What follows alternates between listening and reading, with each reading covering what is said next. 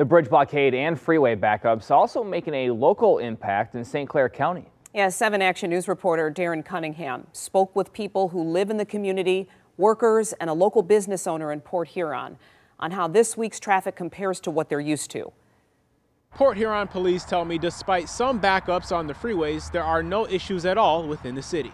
Actually, this is this is uh, normal for us. We always have backups, but we don't have backups this bad. Ann Lage, owner of Ann's Diner in Port Huron, says the differences are the volume of trucks heading to the Blue Water Bridge these days, the length of the backups, and the reason. It'll back up until like the first exit usually, but not to like seven exits. I feel sorry for the people who are out of town and don't understand that there's other ways to get get into Port Huron instead of just 94. It was a mess.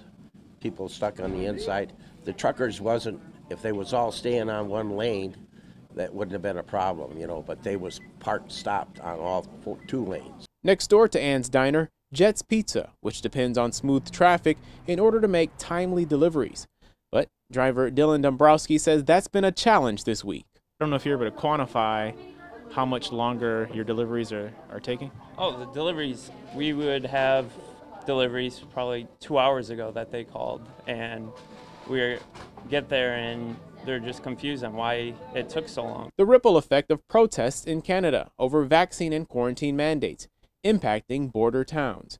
Businesses I checked in with in Port Huron's downtown area report seeing minimal change in foot traffic and revenue, one way or the other. However, Lage says she's concerned truckers unable to make their deliveries, particularly auto parts for the big three, will start to affect her bottom line. A lot of them are laying off right now because they can't get the parts to keep the workers working. So then therefore it affects me in the long run because if they're not getting a paycheck, you know, they're not coming out to eat. Darren Cunningham, 7 Action News.